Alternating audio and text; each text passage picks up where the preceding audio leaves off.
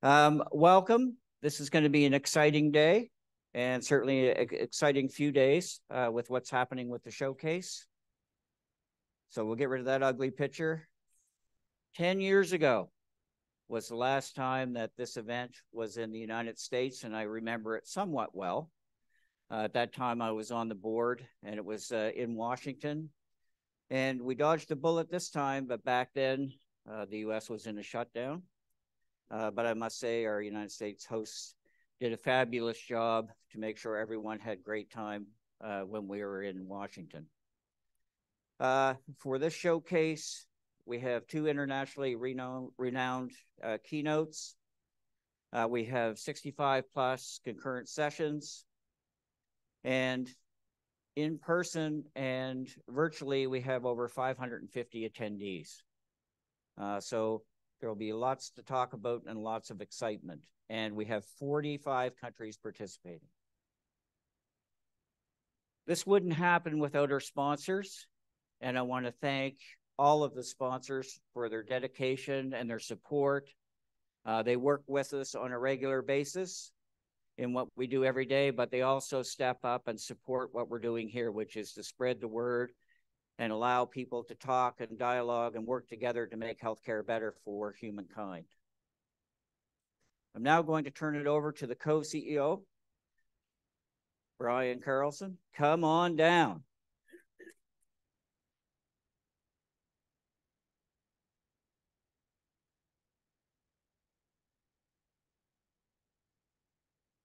Thank you, Don.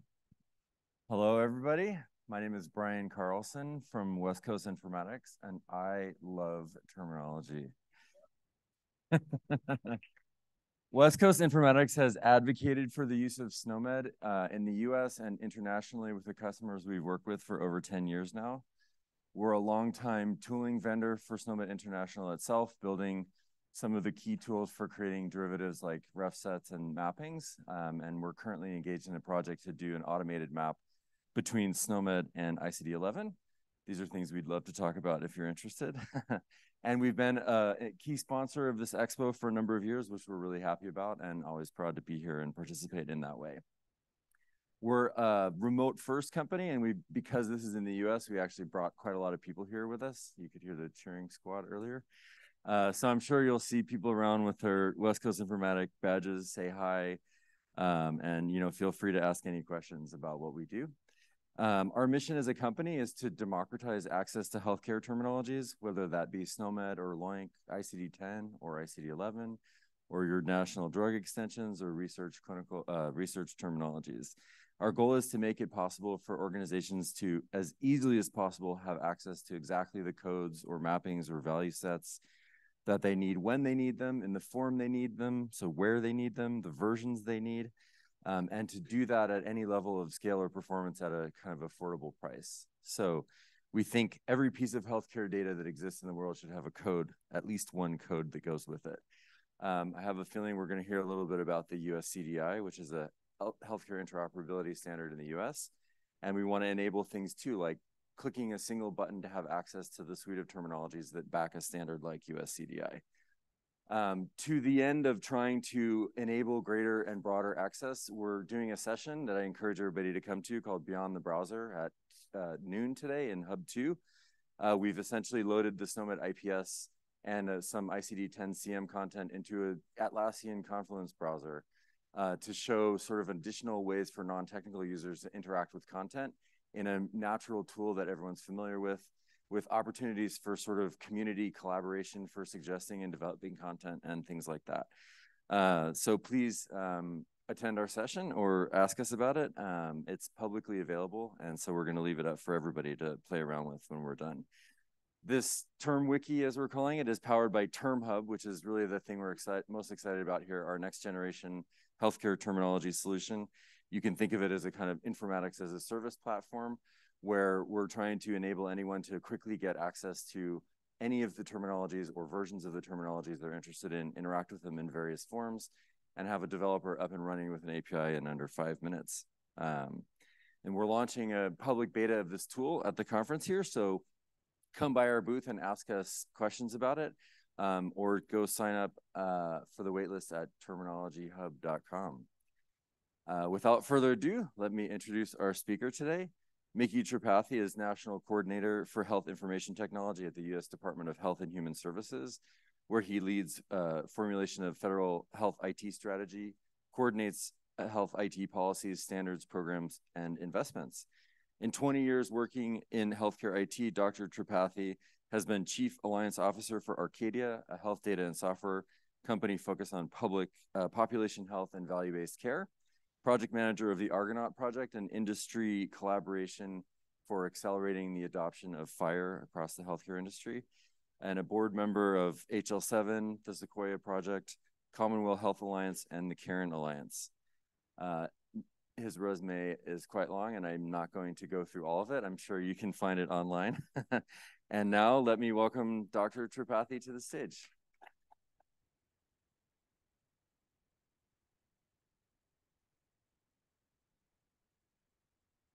Thank you, Brian. Um, and thank you, everyone, for the opportunity to be here today. Um, I'm really excited to be here.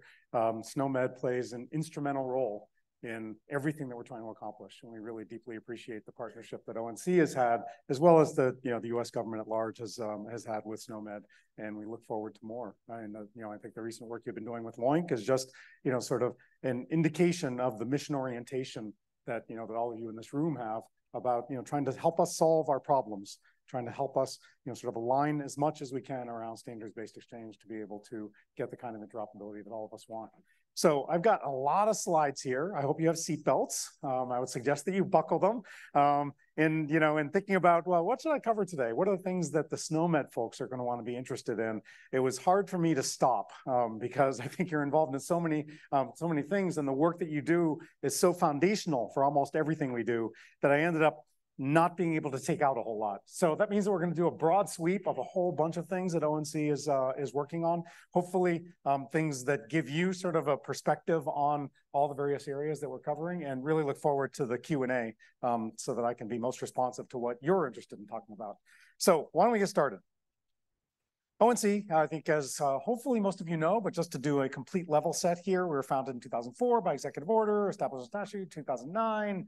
Um, our mission is, I think, I think of it as a horizontal and vertical. The horizontal is um, uh, uh, you know, working on alignment of health IT strategy across the U.S. government. So not just within the Department of Health and Human Services, the statute and our mission is to work across the U.S. government on the formulation of health IT strategy at large. We also work in a vertical manner, which is working with the market, um, doing everything we can to align that federal government strategy to enable an open architecture um, interoperable ecosystem based on open industry standards that ultimately benefits patients, um, you know, first and foremost. So that's kind of the, you know, sort of the two-dimensional uh, mission we have. Our superpowers, as they were, your superpowers are always in what statutes and rules say that you can do, um, are in a couple of different dimensions. One is certification of electronic health records. I think as all of you probably know, in 2010, as a part of the HITECH Act, ONC was given the authority to certify um, electronic health records. At the time, that was about 10% of provider organizations that had electronic health records. We are now at the point, after a lot of hard work, $35 billion in federal incentives, at least an equal amount, I'm sure, on the, on the private side. And that doesn't include the blood, sweat, and tears of everyone who um, continues to work on implementing those systems. We are now at the point that 97% of hospitals and 86% of the ambulatory practices across the country are using certified electronic health record systems, right? It's really a remarkable achievement. I think when we stand back and just take a look at how much has been accomplished in a relatively short period of time for the most complicated part of the biggest sector of the biggest economy in the world, right? I mean, I think it's a little bit breathtaking actually when you when you think back on you know what has been accomplished. And yes, it's messy. Yes, it's not perfect. Yes, people hate their you know electronic health records. That all goes along with success, I would argue. Um, and you know, and, and trying to get people to move to a more modern way of uh, you know of delivering healthcare. Uh, so that certification program is enormously beneficial, I think, uh, you know, for uh, not only for U.S. government policy, but I would argue for the market at large. It's one of the only things that provides a uniform floor, a lowest common denominator across a very, very fragmented healthcare delivery system. So that you have the reliance that if you're in Nome, Alaska, or Portland, Maine, or Sarasota, Florida, or Phoenix, Arizona, if you're trying to get information out of any arbitrary electronic health record system, you can count on some basic functionality being there. And yes, it's not perfect, but there is a minimum expectation that you can have, and that's enormously helpful to the healthcare industry, and we wouldn't have it otherwise if we didn't have these kinds of policies. The other set of authorities come from the 21st Century Cures Act, um, 2000 passed in 2016, seven years ago. I'm going to um, reemphasize that point as we just think about you know what we're trying to do here. Seven years ago, the 2000 the 21st Century Cures Act um, was passed, had three things in it, and I'll dive into each of these in greater detail information blocking provisions, which were the first authority given to ONC regarding the behavior of the users of health IT. Up until now, the certification was more on the supply side, right? It really just applied to the vendors. It said we can say something about the technologies that needed to be in place for those participating in CMS uh, payment programs, but we didn't have really any authority over how people use those systems. The information blocking provisions come along and say, drop that in ONC's lap and say, no, you actually have something to say about that. And we'll talk in, in detail about what that is and where we are on that. Standards. Um, established the US CDI as a minimum data set for the healthcare delivery system. Um, also directed ONC to, um, uh, you know, to move forward with API-based exchange so that healthcare can finally discover the internet. I don't know if you've heard of the internet. It's a really cool tool, I hear, and it's got a lot of prospects, so we ought to be using it uh, more than we use it today. And then finally, TEFCA, Trust Exchange Framework and Common Agreement, don't worry about what that stands for. Just think of the acronym TEFCA, like you think about HBO. Um, you don't know what it stands for, but you know what it is. Um, and TEFCA is nationwide network to network interoperability. So all those things are you know, sort of key authorities that we have and key levers that we're using to try to accomplish our goals. One other thing I should mention that may not be apparent to you, but certainly in SNOMED, I think it will be of interest to you because the work that you do applies across federal agencies, not just with electronic health records, is that there is a um, sub-regulatory policy that was put into place by Secretary Becerra about a year and a half ago um, it's a department policy that is now fully in place that requires that all HHS agencies, so that's all Secretary Becerra has authority over, but all HHS agencies are required to support in all of their policies and all of their funding vehicles. That's contracts, grants, whatever it is, they are required to support ONC approved standards for clinical data exchange and clinical data um, at large. So the idea is that we have too much um, fragmentation just within the department as our different agency partners who are doing great things and they're trying to tap into health information technology systems, which is what we all wanted. And that was the goal of being able to invest public dollars in you know, motivating providers to adopt these systems. But now we recognize that across the department, we've got too much disparate approaches to the use to the leveraging of that data out of electronic health record systems that ONC and CMS have spent a lot of time and a lot of effort getting providers to do it in particular ways. We don't want our agency partners to be fragmenting that and um, and you know not having that kind of alignment. We also don't have enough synergy across the Department of Health and Human Services, across our operating divisions and staff divisions in the efforts that they have. So there's still a little bit too much siloing across the department. That's what the secretary put this policy in place to say that all of these, all of our agency partners, we need to all work together and say we're going to move forward on the standards that have already been approved by the secretary and they're already promulgated in regulations that are driving the healthcare industry. So you'll see more of that. I mean, obviously that doesn't happen overnight, but that applies again to all of our um, HHS agency partners. So we're working hard with CDC, FDA, NIH, HRSA, CMS, you know, all of those agencies to, you know, to get this more and more in place. And we're doing a ton of technical assistance to our agency partners to help them along the way. Um, so where are we? I like to, you know, sort of draw the, the Gartner hype curve um, for, you know, thinking about where we are and to also give you a sense of why I'm really, really still after two and a half years, which feels like about 10 years, um, so excited to be in the role that I am um, at this particular time. So all of you are hopefully familiar with the Gartner Hype Curve. You know, my health information technology um, overlay on that is, you know, we started off like in late 90s, you know, early 2000s, the Era is Human, the um, Institute of Medicine report came out, um, which I think was pretty, you know, sort of shocking to most people. Um, by the way, that data hasn't really changed, so we've got a lot of work to do still, but it pointed out that, you know, the very, very high incidence and prevalence of um, medical errors in our healthcare delivery system. And also started the conversation as people were thinking about it, the sort of the correlation of saying, geez, we have a lot of medical errors in our system that we weren't aware of. We also are the laggards of the industrialized world and the use of health information technology. And that started on the course of saying, we really need to think about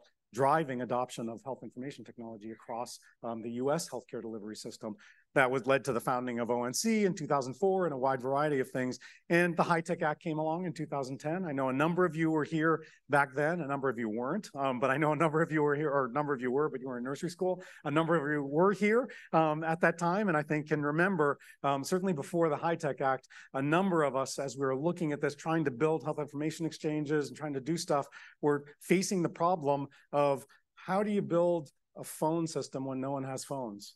How do you build an ATM network when no one has ATMs, right? And that was the challenge that we had. My, you know, my, uh, uh, the first uh, national coordinator, David Brailer, did a ton of great work. But as you look at that, it was like, we're going to create all these great networks. And it all was a great vision. But it was like, but no one has electronic health records. So how are we going to do this? Um, the HITECH Act came along and it was a godsend for the industry. Um, it was a godsend. It allowed the federal government to invest in its supply chain to get the supply chain to invest in technology that they weren't otherwise willing to do.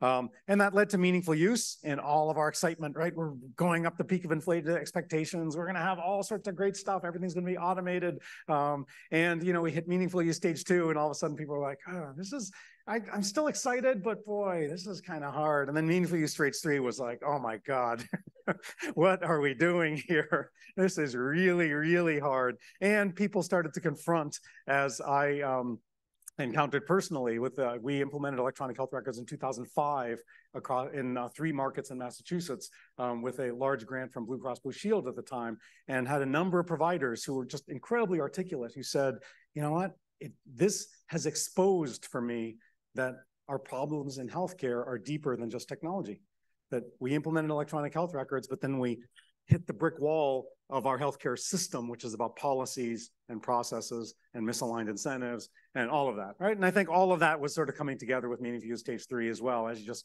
you know, the nitty gritty and the difficulty of implementing these kinds of systems is really hard and change is really hard.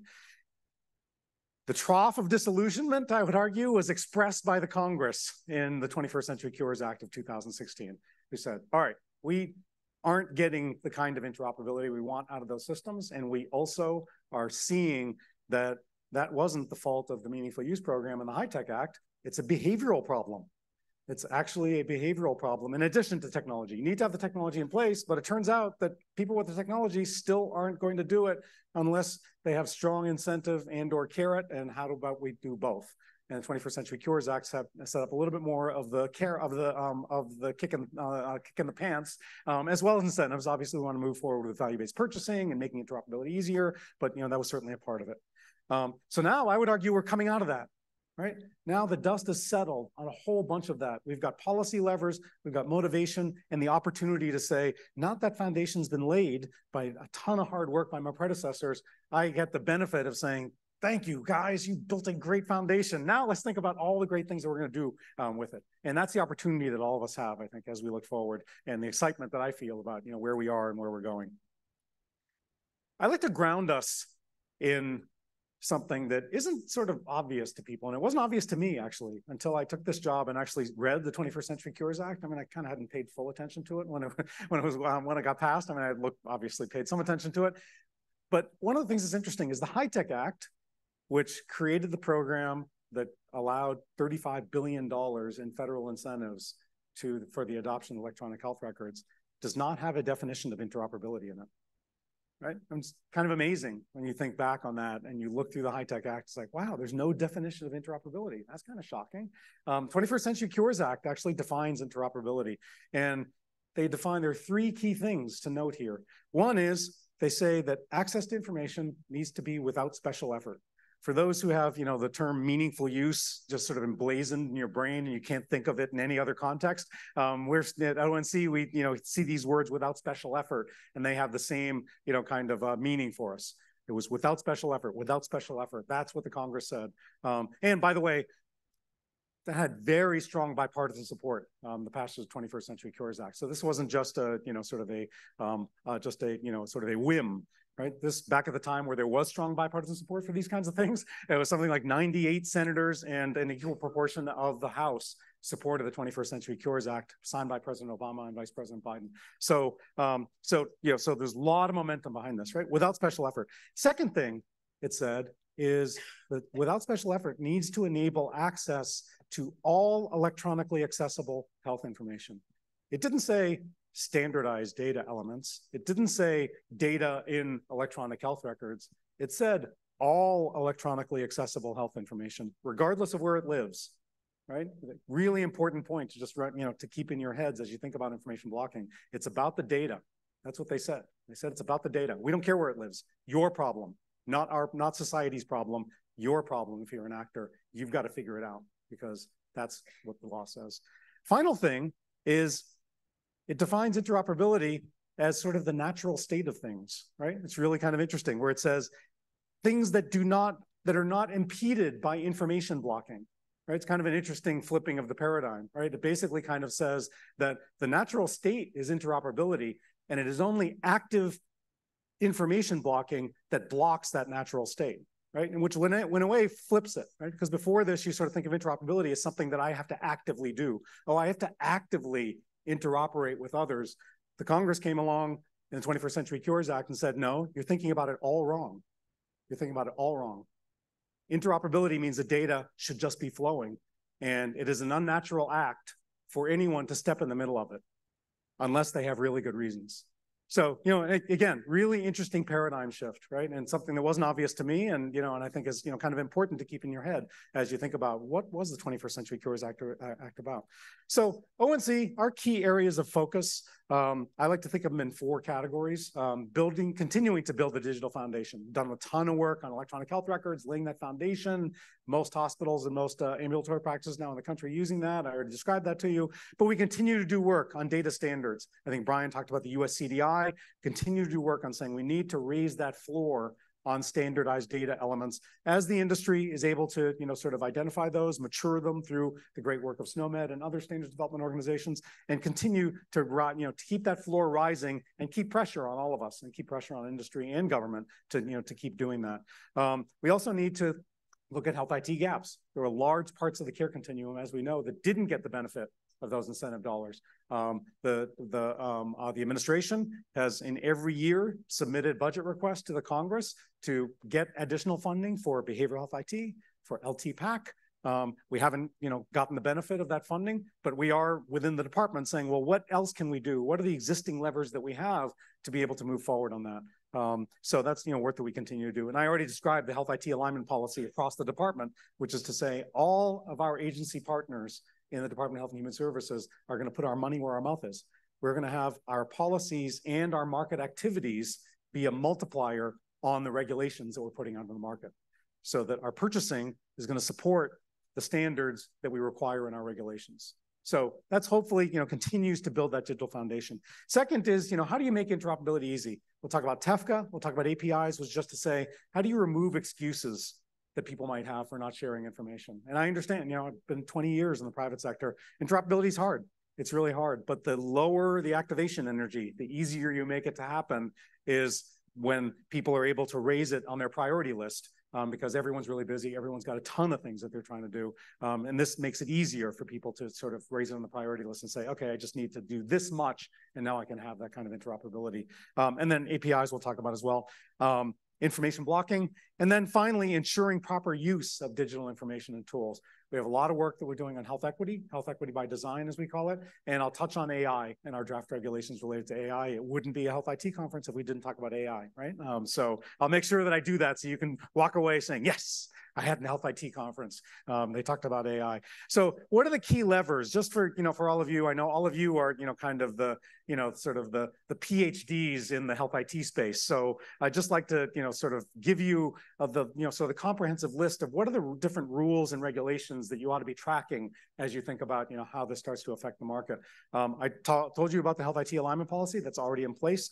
HTI 1 is ONC's draft rule that's out right now. We put it out in March.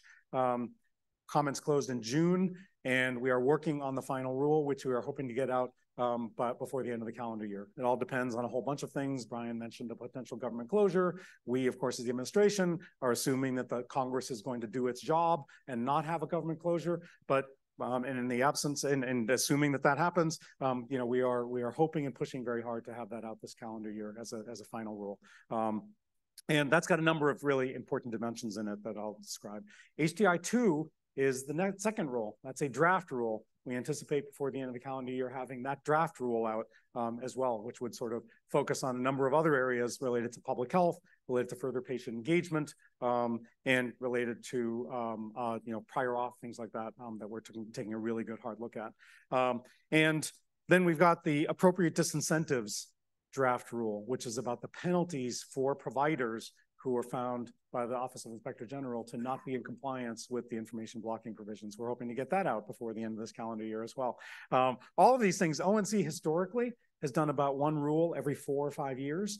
As you can see, we've got three rules that we're pushing out at the same time, plus TEFCA, which is at least as big as a rule, um, if not a rule itself. So we're operating at a pace that's unprecedented um, in the history of ONC, and that's because we're really impatient. And I'm really impatient. And I think that we have too much to do to be working on these five year cycles, right? We have way too much to do. So we need to, you know, and the market expects it, patients expect it of us. So that's why we're pushing really hard. And we really appreciate all the support that we get from all of you in helping us do that. And then, you know, two things to just keep track of. Um, one is the CMS interoperability rule. I'll talk about it again um, a little bit later, but it's really important. It's a really important addition to the way that we're thinking about interoperability. ONC rules work on the provider side and talk about the certified vendors that are used by providers and enabling exchange through FHIR APIs, through TEFCA, um, you know, all of the things that we're pushing really hard, the US CDI. CMS, our partner, is working in partnership to say, you know what, we're going to do the same thing on the payer side. ONC, you don't have authorities over the payers, but we do. And so in the draft interoperability rule that may that you may know is already out there, they've got some regulations about payer use of FHIR APIs based on the same standards that ONC requires of providers and electronic health record vendors. So a lot of alignment there and a lot of you know sort of orchestration of levers to say how do we um, make sure that we are um, you know kind of weaving together and leveraging each other's authorities across our federal agency partners to get as much of you know sort of a comprehensive uh, approach to the uh, to the market as we possibly can. USCDI, I think a number of you are familiar with the USCDI. I'm just checking my time. Um, and, uh, you know, it's a set of data standards. We always call it a data standard. It's not really a data standard, obviously. It's a portfolio of data standards, a lot of it based on the um, all the hard and great work that all of you do. Uh, and as I said, this is kind of a rising floor. Every year we have a process where we get market input, we get federal agency input, and we add additional um, uh, elements to this to be that foundation, that 80-20 kind of what's the basic minimum data set that you should expect in any arbitrary system across the healthcare delivery system. Um, we recognize that for particular use cases, for particular specialties, there are additional data elements that you want. This is designed to provide a foundation that you can build on to support those.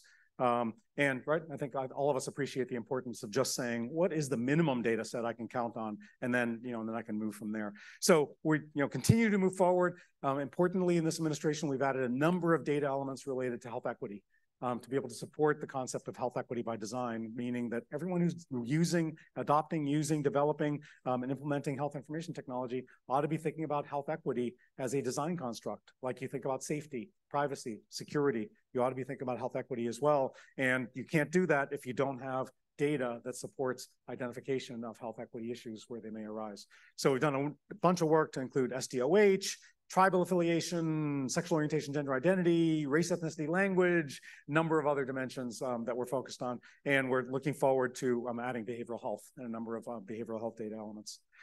We um, are also in that vein, as I was describing as additional use cases, um, an initiative that we started in the, in the administration is what we call USCDI Plus, because we have a number of agency partners who had been approaching us saying, we really like the USCDI, but you need to add 53 new data elements next year to support our particular mission goals.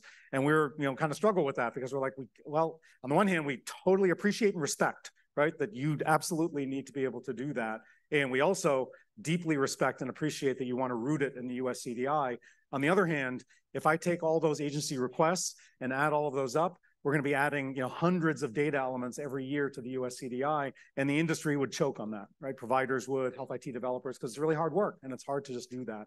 Um, so one of the things that we did is this, we've launched this US CDI Plus initiative where we work with our agency partners on their specific programs to say, how do we accelerate and build on the US CDI, add additional data elements to your, support your programmatic needs, and then you can actually use your programmatic authorities for people who participate in your programs to get them to adopt these additional data standards. But it doesn't have to be the minimum data set that covers, you know, sort of the entire landscape. Um, so in that way that we can we can sort of accelerate in particular use cases, we can support our agency partners, which is critical and really important to ONC. Um, but we can also allow the industry to keep more keep moving forward with that you know sort of rising floor of a minimum data set. We've got uh, active initiatives going on with the CDC for public health to imagine that, try to create a nationwide public health data model. Um, that would be really good. So we're working with jurisdictions and the CDC on saying, how do we do that based on the USCDI? Um, we also have a very active um, uh, uh, USCDI Plus initiative with CMS um, to help support the quality roadmap that they have. Uh, many of you may be familiar with their quality measure roadmap. We want to help support them with the data elements required to support that. Um, we also have already got in place with HRSA UDS Plus, which is basically a USCDI plus for UDS reporting. Same concept, saying, well, there's UDS reporting, work with HRSA to actually FHIR enable it. So we worked with them to set up a FHIR server so they can actually get that as a FHIR um, transaction um, with FHIR resources. And also extending the USCDI to support the additional UDS data elements that they wanted to include. And then finally, we are just launching now a USCDI plus for cancer initiative with um, the National Cancer Institute and the FDA to support the addition of for ca of cancer data elements to support a number of cancer use cases that um, NCI is supporting, FDA is supporting, and the Cancer Moonshot from the White House. So really excited about that, and actually one that's in the wings here. But just to point it out to you, is we are just about to launch a USCDI Plus for behavioral health. Um, initiative to add behavioral health um, specific data elements, um, working with SAMHSA, working with CMMI, um, the Center for um, uh, you know the models, um, and uh, and working with our other agency partners on that. Um, I'm going to skip ahead here and talk about FHIR for a second. Um, FHIR is the instantiation from an ONC perspective of that direction from the Congress to have API-based exchange without special effort right? Without special effort, without special effort. That's what it said.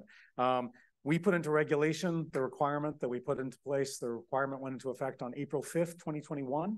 Um, short, you know, four months after I came in. Um, we put that into effect on April 5th. And um, as a part of that, all certified electronic health record vendors were required to make available a standard FHIR API to all of their customers by the end of last calendar year. All, all, all. So all of them were required not just to certify their API to that FHIR API specification, they were required to make it available to their customers. CMS, our partner, follows on that. And in their payment rules, if you track those, they actually have provisions that say that by the third quarter of this calendar year, all of you who are participating in certain payment programs, you're actually required to have that version of the software in place in order for you to participate in these payment programs. So we've got you know both sides of it now that are pushing forward to say we need to have this FHIR API foundation across the entire industry to allow scalability of FHIR-based exchange um, where it makes sense and where it's appropriate. Um, that also, I should just point out, um, just on that, you know, on the bottom there, the goal isn't a read-only FHIR API that makes available the USCDI, right? That is the current requirement. The goal is to lay the foundation for the richer type of exchange that FHIR enables. And that's why we see this as, great, this is the first step. Now what?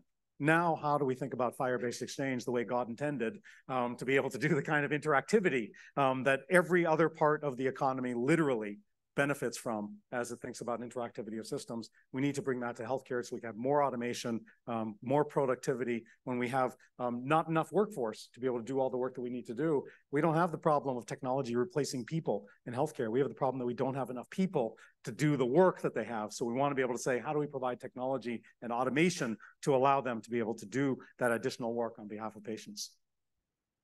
Um, the uh, uh, one thing I like to point out is, and I sort of alluded to it before with the CMS interoperability rule, is that this FHIR, this FHIR thing, um, we start with that, with the you know requirement that it be made available in electronic health record systems. As I pointed out, you know that's a requirement from 2022. Then our partners at CMS pick up the ball on that and they say on the left-hand side, providers who are using those certified systems, um, which they're required to do for payment programs, you're actually required to have that version of the software in place and to actually use that API. And then they say, we're also going to FHIR enable our own data. So the BCDA and the DPC pilot that some of you may be familiar with, the DPC pilot is fantastic. Um, it's still pilot, but it makes available Medicare fee-for-service claims data to providers. It allows them to use a bulk FHIR um, exchange to get all the claims, all the Medicare fee-for-service claims on the patients who they have a treatment relationship with. Not just the claims they submitted, all of them. So they get the benefit of the breadth of that information from a care continuity perspective to supplement the cl deep clinical data that they already have in their own systems. And CMS then, in their draft interoperability rule, which I was talking about before, extends that further and says, oh, regulated payers, you actually are required, you're going to be required to do the same thing. If the final rule ends up being, you know, the same as the draft, obviously it's draft rule. Um, so their payer patient API, they already put in place. The payer provider API or the provider access API, as, um, as they call it in their rule, again, would allow regulated payers, commercial payers to make available a FHIR API so the provider can access all the claims data, fee for service, risk, all of it through their um, through a FHIR API to be able to provide get that perspective on continuity of care and uh, combine that in their own system with their with uh, the clinical information. Right? I think it's huge. I think it's a huge breakthrough for the industry, really important, and one that we really support and are working really hard with CMS to you know to make it a reality. Uh, the other thing I'll just point to, there's a number of other things there. That PAR-D, for those who aren't familiar with the with that, that's Da Vinci, um, the the Da Vinci project. That's prior auth, right? In their draft rule, they are requiring support for a standardized approach to prior auth. Prior auth is one of those things that you know all of us are vexed by because everyone hates it, um, but no one seems to be able to solve it. um, so we're working really hard with our CMS partners to say, all right, you've got the payer side of it, you've got the policy side of it, and we're working really hard to think about the EHR side of it. Many of you may have seen the RFI that we had on prior auth. We got a ton of feedback from industry, overwhelming support from industry for ONC to do something on the EHR side to make that you know sort of prior auth uh, um, uh, type of automation uh, a reality. So we're looking really hard at that, and are you know are hopeful we'll be able to do something there. Um, HRSA, I already described that, and then CDC. We're working with CDC through Helios on a number of different um, sort of you know more more new um, you know sort of breakthrough kinds of uses of FHIR for situational awareness data, for access, bulk access to immunization registries. But my point is that we got a number of federal agencies who are saying, let's leverage those FHIR-based capabilities and let's get the industry to move forward by acting in, you know, in the ways that we want industry to act, which is to make information available via FHIR APIs where appropriate and do that in an open architecture, open standard um, kind of approach. The last thing I'll point to is the need for TEFCA on top of all of that. And I'll come to that later, but I just wanted to point it out here since we've got all these FHIR APIs. Um, TEFCA is really important for FHIR scalability. I would even put it the other way. You're not going to have FHIR API scalability without the kind of trust services that you get from something like TEFCA. And the reason that is, is that scalability of FHIR APIs is really hard.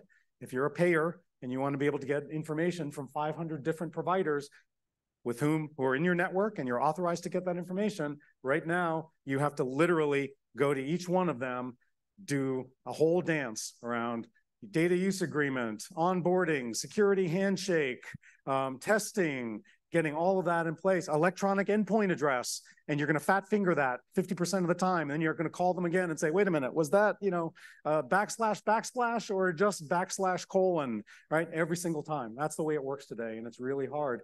TEFCA offers the scalability and the trust services to say, take all that off the table. Networks solve that problem. That's what they're designed to do. And then just allow the FHIR APIs to interact with each other. That's what we're doing with TEFCA. And I'll describe, you know, um, uh, the timeline on that for a second, in a second. All right, I'm gonna, um, oh, this, uh, one thing I just do, do want to mention is we do, we are doing a lot of work to try to motivate industry toward use of FHIR APIs. So we've got, you know, a number of things that we have in place from a regulatory perspective, but we also want to watch the market and provide information back to the market. So one of the things that you may not be familiar with, but we're going to do more, and we're certainly going to do more to make this dashboard something that isn't user hostile, which is the way, which is uh, you know how it is today, um, is Lantern. So Lantern um, is a product that ONC has, totally open source. Anyone is welcome to download it and you know tweak it to your uh, heart's desire. Um, where we actually just scan all of the known FHIR endpoints that we can find across the industry um, that are required in regulation, and we um, we document in real time the status of those. Which ones are down? Which ones actually are supporting the services that they claim to be supporting? And that's what you see in this dashboard. And if you go down, if you scroll down, you would see it by vendor. You'd see which, you know, how many Epic ones are up and running, how many Cerner ones are up, or up and running, which ones are, you know, actually giving success, which ones are throwing back 404 errors. Um, and that gives a real-time sense of what's actually happening in the market. Vendors can come and certify their system. That doesn't mean that they've implemented them right? I think all of you deeply appreciate that. So we're trying to get at that to say, we're actually going to use this open source product, make the information available to the market, and then hopefully the market decides that, oh, I don't like the fact that you know half of my servers, my endpoints are actually non-functional, and I don't like that ONC is posting that publicly on a website. Um, so that's you know what we're doing with Lantern, and we're going to continue to do more and more of that. If there are any payers in the room, we're coming for you too. Um, we are actually building in now, looking for the payer endpoints that are required in CMS regulations already for member-facing APIs, and we're going to post those as well. So if you'd like to, you know, be in the green here, um, please let us know what your endpoints are. We'll find them anyway, um, but please let, let us know what your endpoints are, and we'd love to be able to put you up on the dashboard.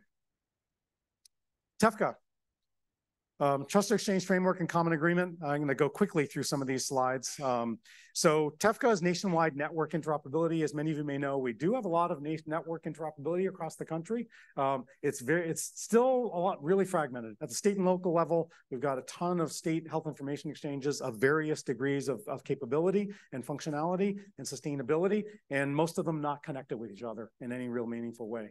Um, we do have nationwide networks, which are great. I, you know, did a lot of work um, prior to joining the federal government um, on that, and I think that they've done terrific work. Um, but there are a bunch of gaps still that are, I would argue, are too hard for the private sector to um, overcome on, on its own. Um, the federal government needs to play a role at this point to get us to the next evolution of network interoperability. The analogy that I like to use that was the direction from the Congress was basically to say our experience in network interoperability ought to be the same experience that we have with cell phones where you've got AT&T and mobile and Verizon and T-Mobile and all those systems, um, all private networks, but our user experience is that it's a single network, right? We don't worry about is my AT&T phone going to connect to my T to the to my friend's T-Mobile phone. That is all behind the scenes, all taken care of.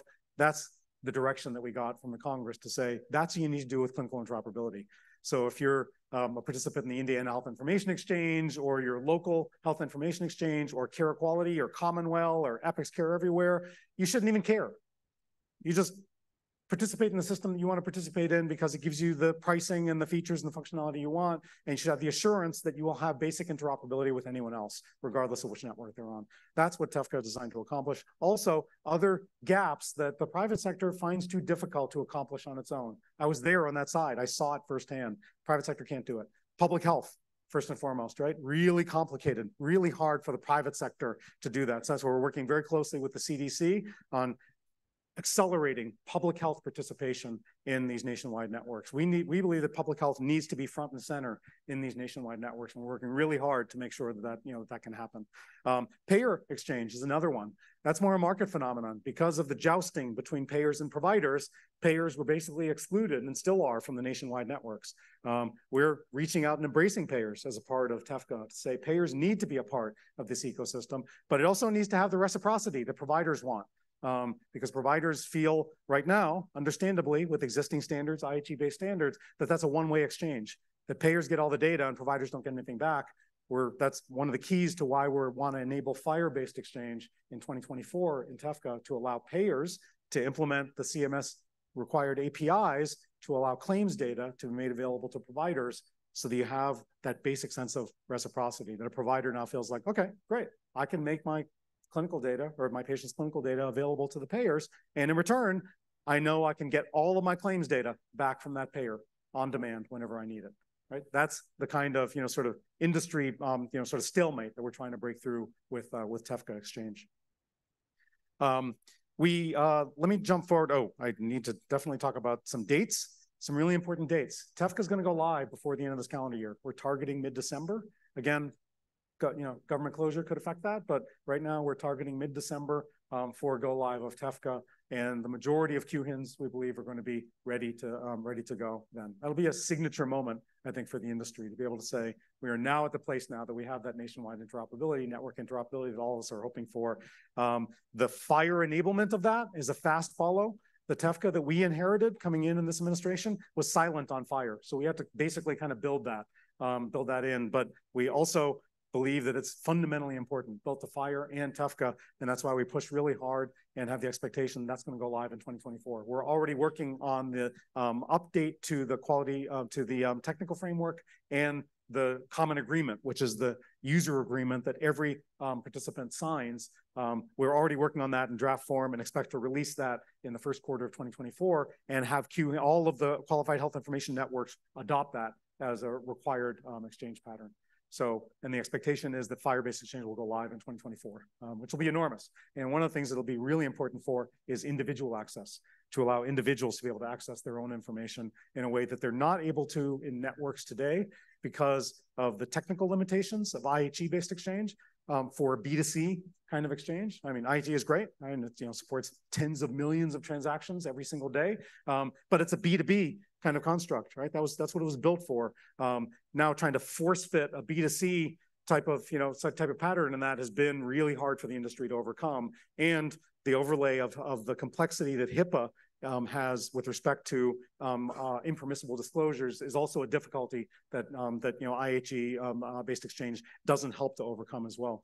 So FHIR based exchange though does FHIR and OAuth allows you to have the kind of end to end assurance that providers who are the ones who are going to be held accountable for this, um, providers and payers who are HIPAA regulated entities, they're the ones who are held accountable at the end of the day for an impermissible disclosure.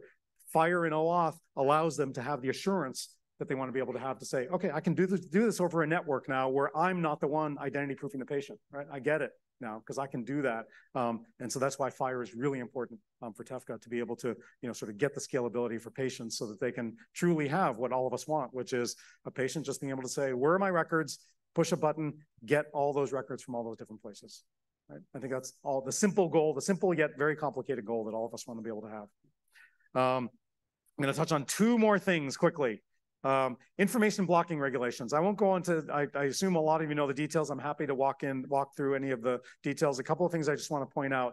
One is 21st Century Cures Act was passed in 2016, and we are still implementing it. Um, good God. Um, so we've, we've done a lot to say this needs to get out of the gate. It needs to get done. Congress was very clear about this. Um, so we came in, none of it had been implemented, unfortunately. Um, and uh, and uh, we put the rule in place on April 5th, 2021. And we also are just about to release the draft rule, as I described before, that would fill the missing piece of the puzzle, which is what are the penalties on providers who are found not to be in compliance with information blocking. The law was complicated in a number of different ways. It identified three actors providers, health information networks, and technology developers. It didn't, payers are not actors, by the way. I'll just do, that as a side note. If I was there, I would have added payers for sure, but the Congress didn't. So just for all of your awareness, payers are not actors in information blocking, but providers, technology developers, health information networks. And it also gave OIG, the Office of Inspector General, authority to issue civil monetary penalties of up to a million dollars per incident on technology developers and health information networks but it kind of carved out providers. And it said, providers, you're going to have appropriate disincentives that we're going to kick over to um, uh, to the Secretary of Health and Human Services to define, and we're also going to constrain the Secretary of Health and Human Services to using existing authorities to do that. And so that made it really complicated. Um, so we've worked really hard over the last two and a half years um, with Secretary Becerra um, directly involved in pushing us to fill this enforcement gap. It's not fair to providers. It's not fair to patients. It's not fair to everyone else. Um, so that's, you know, that's coming. As I said, in the OIG rule, um, enforcement has started. September 1st, 2023, OIG started enforcement. They were clear in their rule that they're just doing investigation enforcement right now on health information um, networks and technology developers because there are no penalties defined. But as soon, but they also pointed out that as soon as um, the department establishes the penalties on providers, enforcement will automatically kick in um, on providers as well. Why is um, why is that important? So you know, first off, the definition of providers is really broad in the 21st Century Cures Act. So some of the you know questions on the left hand side: Am I am a pharmacist? Am I subject to information blocking? Yes. Um, uh, is a provider who does not participate in Medicare or Medicaid still an actor under information blocking? Yes. Um, are clinicians and healthcare providers who do not use any certified health IT subject to information blocking? Yes. Right? Yes, yes, yes all of those. On the right-hand side, you have the definition of providers. You can see that it is very broad. it's pharmacists, it's labs, it's physical therapists. Again, this comes from the 21st Century Cures Act. It's not stuff that ONC is making up. Um, very broad, very far reaching. Um, we have a complaint process. It is a complaint driven process. OIG, um, ONC does not have a police force that can show up on site and say, all right, hands down, everyone. We're going to see if you're information blocking. Um, it is a complaint driven process. Um, and that's really important. We've, you know, we've established our process, um, you know, with OIG on how we handle complaints. And the reason the provider piece is so important is if you look at the data, which we update every month on our website, you can go to our website and find this. The data through September shows that the vast majority of complaints still, we get about one complaint a day. The vast majority of complaints still are patients complaining about providers. Right? I don't know what people's expectations were, but right now it's like 85% of the complaints are from patients and about 85% of their allegations are about providers not making information available to them. So then you go back and say, oh, and then we've got this enforcement gap where we don't have penalties on the providers who are the ones who, at least right now, are being named as the, you know, the, um, uh, the uh, having the most complaints against that's another part of the importance of saying we need to fill that enforcement gap, and that's why we're pushing really hard on that. Um, the last thing I just want to touch on um, is uh, I promised that I would talk about AI. Uh, predictive decision support intervention. I'm just going to say this in two minutes because I, I, think it actually is relatively simple. ONC regulations, draft regulations on AI um, we in the FDA and the Department of Health and Human Services are really the only agencies that actually have, I mean, the FDA obviously is very well established, right? over 700 software as a medical device, um, you know, um, approvals to date. So they obviously are very mature, very established in, you know, AI-based tools, and they've got, you know, a whole program and a whole process for um, doing those approvals for um, for safety and effectiveness. Um, ONC now has our draft regulations that covers the use of AI or the availability of AI in certified electronic health record systems. And our rules have two um, approaches, but the fundamental concept underlying it is not about approving the systems as FDA does. FDA's authorities is specifically on software as a medical device and approving them for safety and effectiveness. ONC's approach is to say, we're going to focus on transparency to the users of certified electronic health records, so the Epic, Cerners, Athena Health of the world. Um, we're going to focus on just transparency to the clinical user so that that customer of the electronic health record knows what AI-enabled tools are actually embedded in the system. They have some basic information, um, a representation of a model card or nutrition label, as people call it. Um, and we've proposed 14 data elements that would need to be made available to those uh, customers to allow them to evaluate, is this an algorithm or an, an AI-based tool that I want to use in my setting? So we're not saying that's a good tool, that's a bad tool. All we're saying is you need to surface that information, make it available to the customer so that they can then determine. They do it every day. They do it with formulary. They do it with clinical decision making. Um, put this in their hands. They will they will figure out how to make the right decisions on that. And then we also require that the certified technology developers, the EHR developers, have some type of formal risk management process um, regarding how they decide what AI-enabled tools are going to make available in their systems. So again, we're not telling them how to do it. What we're, what we're saying is you need to have a formal process. You can't just have this be an ad hoc thing. Um, and you need to make available what that formal process is so that all of us can learn from it. And so the customers, as they're deciding which systems to, to purchase, can decide based, you know, use that as, a, as another decision criteria. So I know that I covered a lot of ground, but I think we have a few minutes for, for Q&A. So let me pause here, and I hope that gives you a good sense of all the different things we have going on.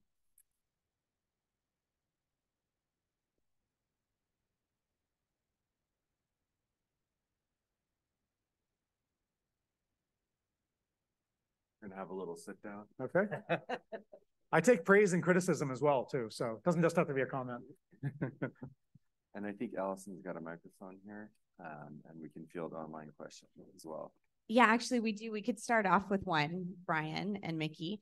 Um, this this was sent in at the beginning of the presentation, but I think it touched a couple other points during the the course of your talk. Um, will there be incentive monies or strategies to make EHRs accessible for those not originally included in the incentive programs? So, like long term care, family planning clinics, and other organizations that are often poorly funded. Yeah, it's a great question. Um, so um, it is a it is a real focus area in the department. Um, and one of the you know what's interesting is uh, a, a, bunch of the leadership of the department, Secretary Becerra, Deputy Secretary Palm, Chief of Staff Sean McCluskey, all of them actually were on the Hill. Right, Secretary Becerra was a congressman for 20 years. They were on the Hill at the passage of HITECH. And so now they're coming into the leadership, and one of the questions they had for ONC is, so how do we do? I mean, right? We, we we put that we put that policy into place. Where are we now? And one of the things that they are acutely aware of because they formulated, you know, the HITECH Act was that we had these gaps. And so, as I said, we have submitted budgets, budget requests called A19s every year to the Congress um, through CMS to identify basically how do we create a meaningful use program for LTPAC and for behavioral health. Um, we haven't, you know, sort of gotten congressional funding for, you know, for those. And so what we're doing in the department itself, I can focus on behavioral health for a second, is the secretary has asked us to um, help to formulate a department-wide behavioral health IT strategy. And what we're doing is we're working with our agency partners to say, we've got a lot of funding actually that goes to behavioral health. If you look at HRSA and SAMHSA and CMS and, you know, a variety of those, but it's still siloed um, in each of those programs, and it's not consistent in its availability of funds for health information technology. So we're working um, with those agency partners to say, how do we get consistency across all of them to say that each of you should make more money available for health information technology, and each of you should provide more direction and consistent direction on what it means to purchase um, health information technology. So that's work underway. One of the other things I would just point to um, also as a part of that is we also have, as a part of that, tried to make everyone recognize that every organization doesn't need a full-blown electronic health record, right? Especially think about the behavioral health environment. You've got outpatient, you've got residential treatment centers, you've got psychiatric hospitals. They have very different needs. And we need to appreciate that where we are now with technology um, offers a lot of more flexibility and perhaps lightweight technologies that can help them accomplish what they need to accomplish without the barrier of having to have a full-blown EHR system. So that's another part of the strategy as well. That's great, Micky. Thanks. I think we had a question back over here.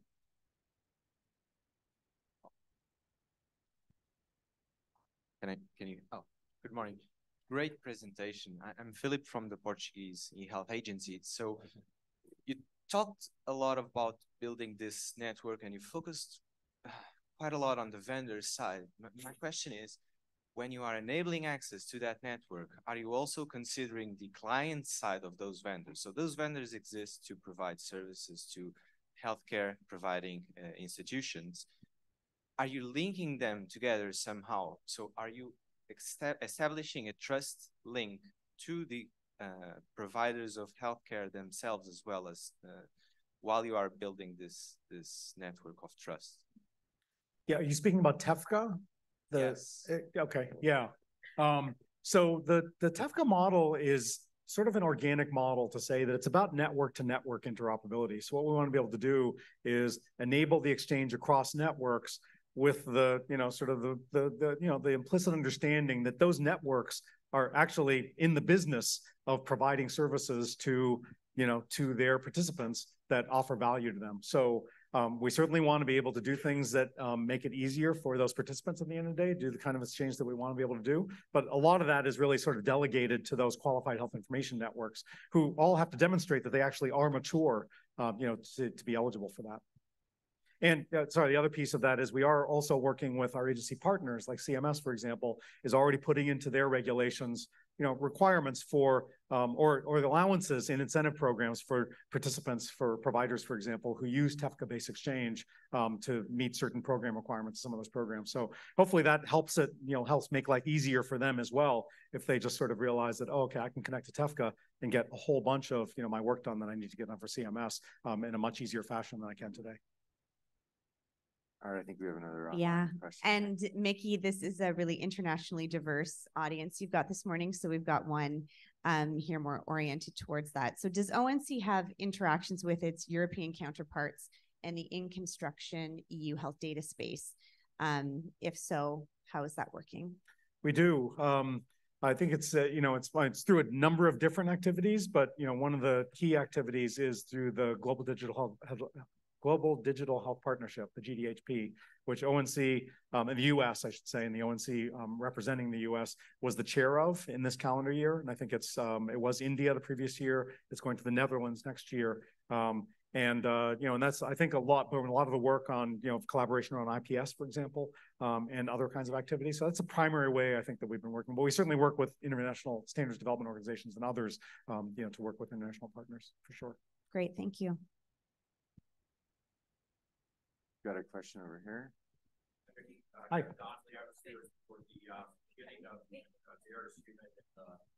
Um, Kevin Donnelly um, was here for the beginning of the hype cycle and the uh, uh, To Err is Human. Um, yesterday, Modern Healthcare published that 85 million Americans have had their um, PHI breached in uh, this year, and that's up from 38 million last year. As I think about all the great things that are happening relative to the build out of our infrastructure and the ability to freely share data, which is awesome.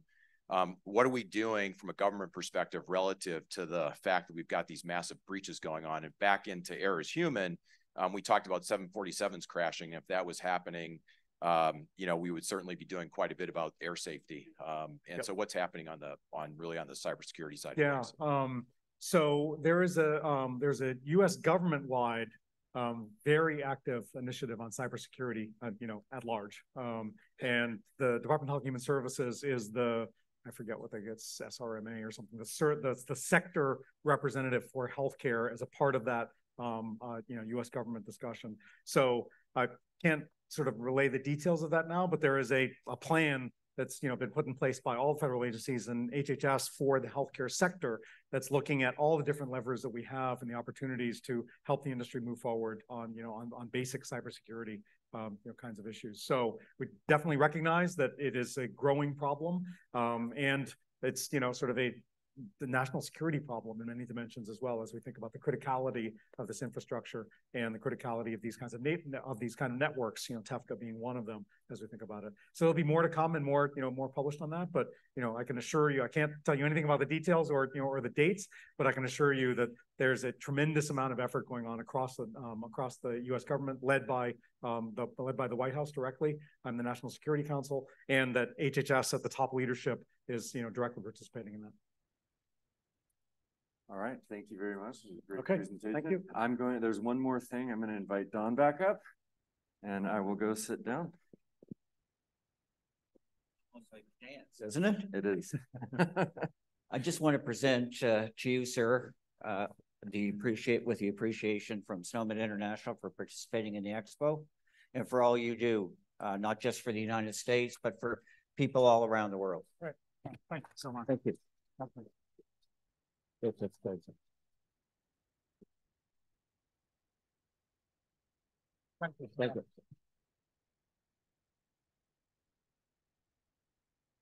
And with that, uh, we're going to call the session to a close. I hope everyone has a great day. Please visit the expo hall and uh, attend the concurrent sessions on the program today and tomorrow. Thank you.